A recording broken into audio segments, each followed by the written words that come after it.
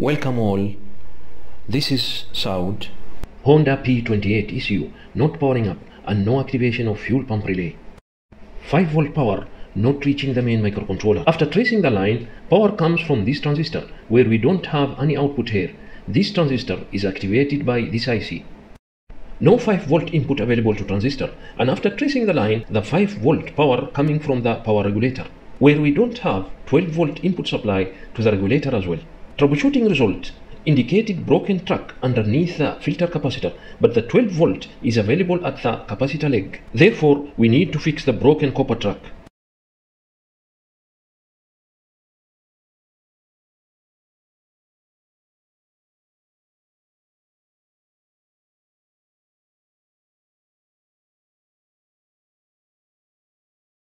So, after repairing the broken track, fuel pump relay activating normal, 5 volt is available at microcontroller side as well as at transistor side and the regulator also up and running and problem solved.